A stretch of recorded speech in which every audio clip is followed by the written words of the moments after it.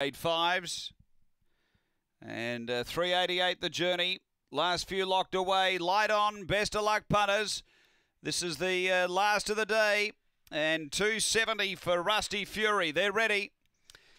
Racing off the inside, Nancy Lee out quickly, powers through to lead from Rusty Fury, then Night Glow. Next, Winsome Bailey from Christopher Rose, and back at the tail, Rip the Band-Aid. Nancy Lee clear by two to Rusty Fury. Three away, Night Glow, and then Winsome Bailey racing to the turn. Nancy Lee, it left the inside. Rusty Fury trying to take the run. Nancy Lee kicking, yes. Nancy Lee beats Rusty Fury, Night Glow, then Christopher Rose. They were followed by Winsome Bailey, and Rip the Band-Aid was back at the tail end. And the uh, time here is 22 and 24 after the running of race number 12 and uh, won the winner. It's 1, 2, 5, and 4. Number one, uh, Nancy Lee, Kim Johnston.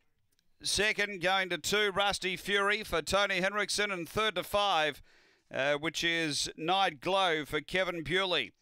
Uh, it's uh, 1, 2, 5, 4 after race number 12 at Angle Park.